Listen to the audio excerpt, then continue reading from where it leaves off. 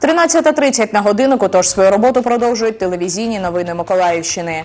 Двоє невідомих у Миколаєві пограбували гральний заклад. Авдіївка. Шлях до перемоги так називається видання, яке презентували в обласній дитячій бібліотеці. Далі про це докладніше.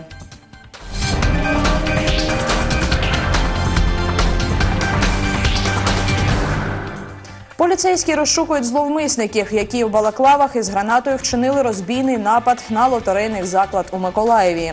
Вчора близько 20.20 у корабельному районі двоє невідомих у масках увірвались до приміщення грального закладу по проспекту Богоявленському та, погрожуючи гранатою, наказали адміністраторові лягти на підлогу і не ворушитись. Нападники забрали з каси близько трьох тисяч гривень та втекли. Наразі поліцейські розшукують осіб, які вчинили розбійний напад. Забрали з каси 3 тисячі гривень. Наразі порушено кримінальне провадження за частиною 3 статті 187 Кримінального кодексу України розбій, що передбачає покарання у вигляді позбавлення волі на строк від 7 до 12 років. Правоохоронці розшукують е, чоловіків та звертаються до громадян із проханням е, до тих, хто володіє будь-якою інформацією корисною для слідства, звертатися за номером телефону 102. Цієї зими льодовий каток у Миколаєві може не запрацювати. Зіпсовано тепловий екран та пошкоджено покриття на основі айсматів. Триває відновлення катка, розповідає власник Олександр Скріпін. На даний момент На даний момент витрачено на заміну теплового екрану 30 тисяч гривень. А по айсматам ще на даний момент роботи до кінця не довели. не довели роботи до кінця. Олександр Скріпін говорить, що в цьому році каток запрацює, але у зв'язку з ремонтними роботами дату відкриття можуть перенести на два тижні. Раніше мали відкрити 19 грудня. Каток зіпсований водієм автомобілю. Очевидці викликали патрульну поліцію. Екіпаж, прибувши на місце, на місце е, встановити е, водія або транспортний засіб не вдалося можливим. Свідки були е, декілька чоловік, але вони не могли е, сказати, яка саме була модель транспортного засобу. Тому на місце викликали слідчо-оперативну групу центрального відділу поліції.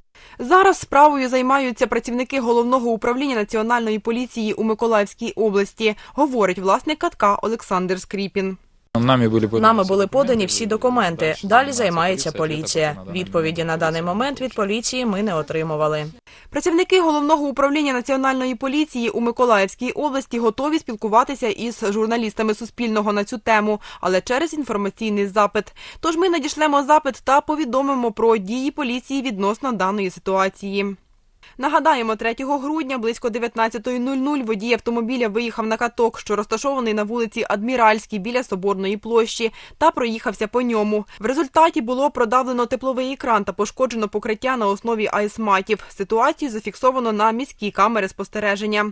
Вікторія Андрушків, Юрій Руденко, Валентина Гурова, телевізійні новини Миколаївщини. І до інших подій. Книгу Авдіївка Шлях до перемоги презентували у Миколаївській обласній бібліотеці для дітей імені Лягіна. Спілкуватись із присутніми приїхала одна з із співавторів видання Аліна Косовська.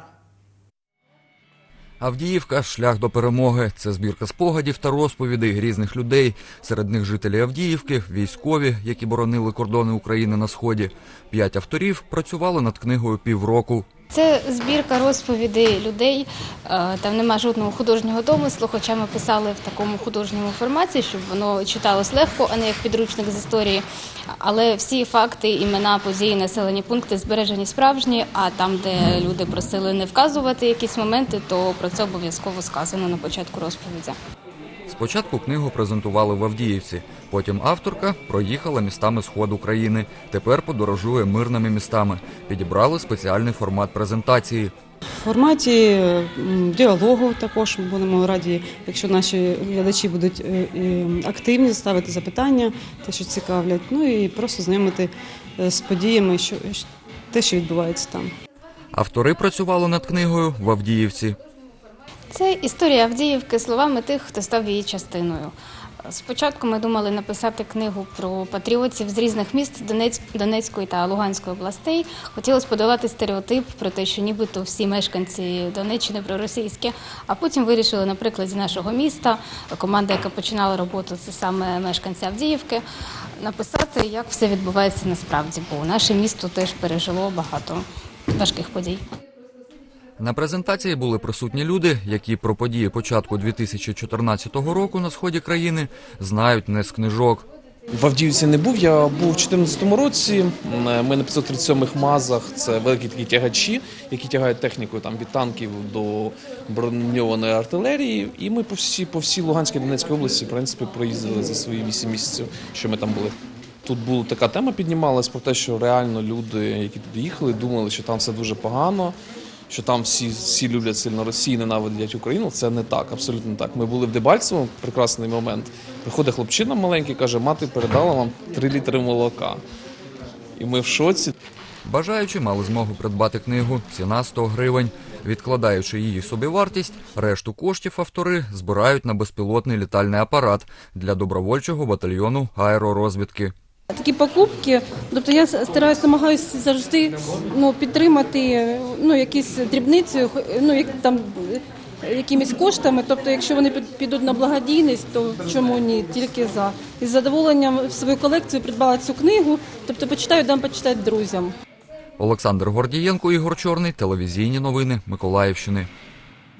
У Миколаєві в басейні водолій відбувся турнір з плавання серед дітей з інвалідністю. Учасники долали 25 та 50 метрів різними стилями.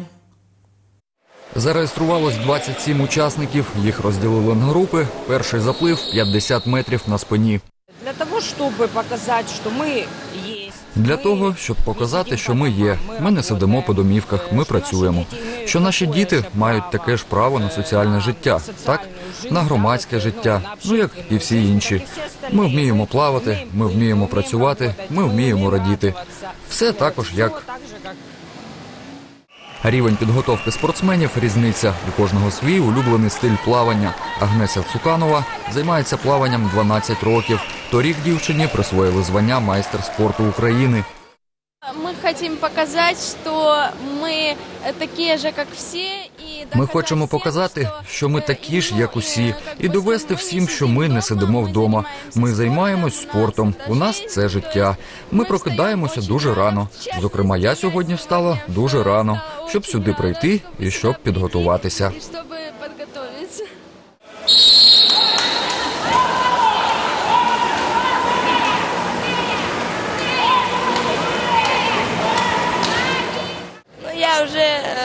Много соревнований принимал участие, потому что у меня сейчас... Я вже багато разів брав участь у змаганнях. У мене зараз буде як це? Турнір в Кам'янську. І тут я буду теж плисти зараз. Це робимо ми спеціально до Дня людей з інвалідністю. Ну. Ну і взагалі плавання красивий вид спорту. Красивий вид спорту. На черзі 50 метрів вільним стилем, після чого знов 25, але вже з батьками та тренерами. Заплив пройшов чудово. Я думаю, що ми пропливли б не тільки 25, але й повернулися б із задоволенням.